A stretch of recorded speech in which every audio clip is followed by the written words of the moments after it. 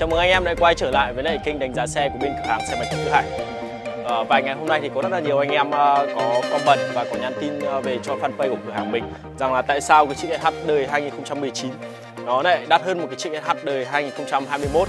Lý do là vì sao?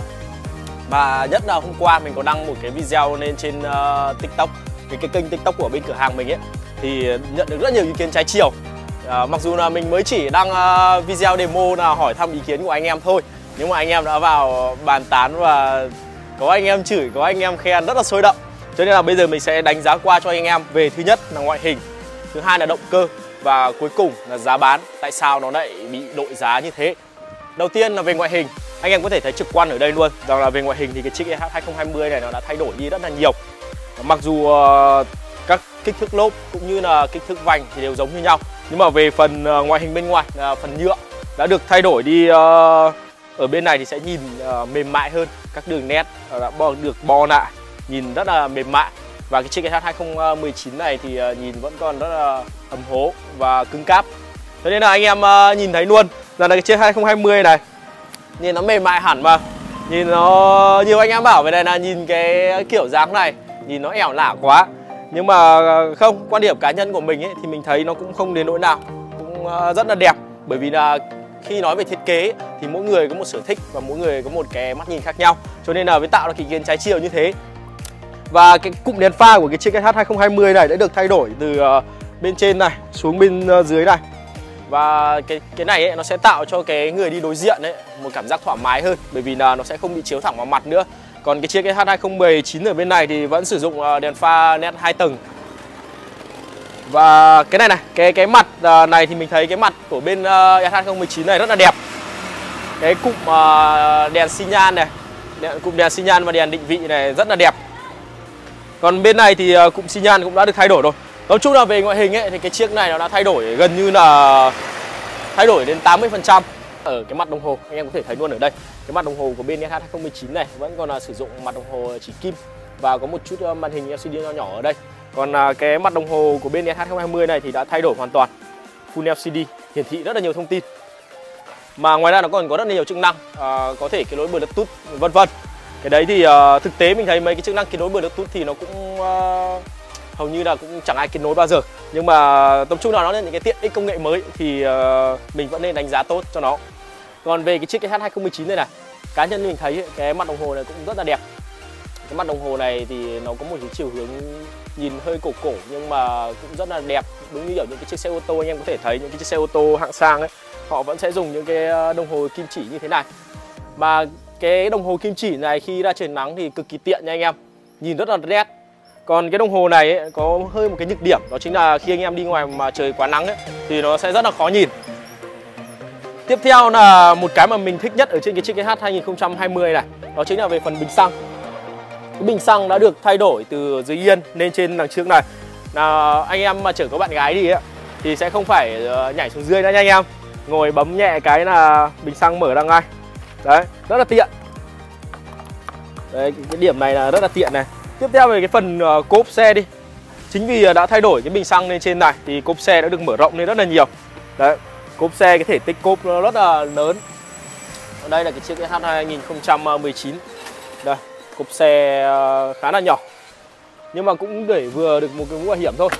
Còn bên này thì ờ, đã được tích hợp thêm một cái cổng sạc USB ở bên SH 2019 này vẫn có cái sạc điện thoại, nhưng mà mình phải cắm thêm một cái tẩu sạc vào nữa và nó sẽ nằm ở cái mép bên trên này. Còn đây ờ, Honda có thiết kế luôn cho anh em một cái khay để đựng điện thoại luôn. Khá là tầm lý đấy anh em ạ. Trước khi mà nói về động cơ thì mình cũng có một cái điểm ở bên trên chiếc SH 2020 này mà mình cảm thấy là cũng rất là xịn sò. Đó chính là về cái hệ thống khóa smart cây. Mặc dù cả hai chiếc xe này đều được trang bị hệ thống khóa smart cây, nhưng mà hoàn toàn khác nhau nha anh em. Cái chiếc SH 2020 này đã được à, cải tiến lên rất là nhiều. Đây, anh em có thể thấy à, quay gần đây đây. Khi mà mình đã mở lên chế độ chờ như thế này và mình à, tắt chiếc khóa đi. Đấy thì ờ, cái chiếc xe sẽ bị vô hiệu hóa hoàn toàn không thể nổ được. Đây anh em có thể thấy đây không thể nổ được. Mà mặc dù anh em đi ra có 2 mét đi nó cũng sẽ tự khóa lại. Cái này rất là an toàn nha anh em.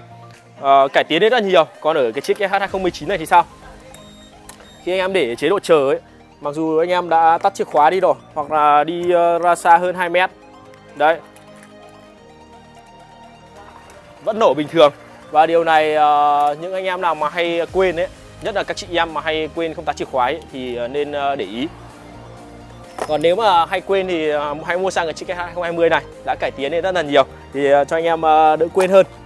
Về động cơ thì hôm nay thì mình chỉ đem ở ra đây là hai cái chiếc xe này đều là động cơ 125 phân phối và phanh CBS nhưng mà nó vẫn sẽ khác nhau về động cơ bởi vì là cái chiếc KH 125 ở bên này đời 220 đã được trang bị động cơ ESP cộng và động cơ này là động cơ 4 van chứ không còn là động cơ hai van như ở bên chiếc ờ, SH 2019 ờ, này nữa. Mà ngoài ra một cái điểm mà cực kỳ ờ, xịn sò ở trên cái chiếc SH 2020 này đó chính là ở những cái phiên bản mà được trang bị phanh ABS ấy sẽ có một cái hệ thống kiểm soát lực kéo Custom Control cực kỳ uh, ngon nha anh em. Khi uh, anh em đi vào những cái chỗ mà chờ uh, đường trơn trượt ấy mà ga quá cao nó vào cua mà ga quá cao ấy rất dễ gây đến trượt bánh sau thì cái hệ thống Custom Control này thì nó sẽ kiểm soát lực kéo, nó sẽ ghim lại để chống trơn trượt và cho anh em rất là an toàn luôn. Khi mà của anh mình đã test thử ở trên những cái chiếc KH ờ, mà được trang bị cái hệ thống đấy ấy. nhưng mà mỗi tội là khi mà anh em ờ, lên ga ấy, thì nó sẽ hơi yếu. Nên là tùy những trường hợp mà anh em cảm thấy ờ, cần bật thì bật, còn không thì nếu mà anh em muốn cảm giác mà cho nó nhanh nhạy thì anh em không bật. Còn nếu mà muốn an toàn ấy thì bật nó lên nhưng mà bật lên thì uh, chạy ấy, thì khi kéo ga nó sẽ không vọt lên đâu. Nó sẽ từ từ mà nó lên thôi. Sau khi mình đã cũng trải nghiệm qua những ờ, chiếc GH 2019 và những chiếc GH 2020 thì uh, cá nhân mình thấy uh, là những cái chiếc GH 2020 này chạy cực kỳ mượt. Chạy rất là êm luôn nha anh em. Còn đối với cái chiếc GH 2019 này thì uh, không không thể êm được bằng ở bên chiếc này được. Bởi vì chiếc này ở bên trong uh, cái hộp số cái hộp hộp uh, ở hộp động cơ bên này ấy, mặc dù anh em không nhìn thấy nhưng ở bên trong này được trang bị rất là nhiều những cái uh, thay đổi để cho chiếc xe vận hành êm ái hơn. Chạy rất là êm. Còn uh, cuối cùng là tại sao mà cái giá bán nó lại uh, bị đội lên như thế và tạo ra nhiều ý kiến trái chiều như vậy? Thì ngay từ đầu trước khi ra mắt ý, không phải là trong cái video này mà anh em thấy và rất là nhiều từ ngay bắt đầu nó ra mắt ấy thì anh em đã thấy rằng là tạo ra một cuộc uh, ý kiến trái chiều rất là nhiều cũng chính là mình nghĩ là chính vì cái thiết kế này mà làm cho cái chiếc H 2020 nó lại mất giá như thế. Bởi vì là rất là một lượng lớn khách hàng là cảm thấy cái chiếc H 2019 này nó đẹp hơn. Cho nên là người ta sẵn sàng bỏ tiền ra để mua cái chiếc H 2019 mặc dù cái chiếc xe này ấy, độn giá đây rất là nhiều.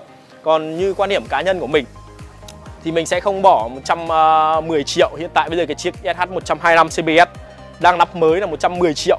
Nó là 108 triệu gì đấy thực tế nó bằng ngay một con SH 150 ABS của đời 2020 nếu mà như cá nhân mình ý, thì mình sẽ bỏ tiền ra để mình à, mua cái chiếc à, 150 ABS đời 2020 mình chạy. Thì nó sẽ à, ngon hơn rất là nhiều.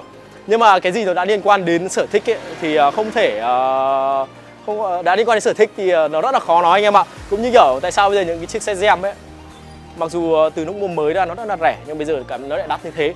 Cho nên là khi mà khách hàng người ta đã bỏ ra mấy chục triệu ấy thì ờ, hầu như là người ta hay chọn về sở thích hơn là mặc dù cái chiếc xe này rất là nhiều động cơ ờ, nhiều ờ, trang bị hiện đại công nghệ đời mới nhưng mà nó vẫn mất giá giá mới lắp mới hiện tại của cái chiếc xe này ấy, nó đang là 85 triệu cho phiên bản thấp nhất và 115 triệu cho phiên bản cao cấp nhất. Còn cái chiếc xe này ấy, nếu mà cái phiên bản thấp nhất bây giờ nó là rơi vào tầm khoảng từ 100 cho đến 110 triệu và phiên bản cao cấp nhất là phiên bản à, ABS Motion 150. Giá nắp mới hiện tại ngoài hãng đang là 150 triệu. Mình cảm thấy là cái chiếc xe này nó bị đội giá nên rất là cao.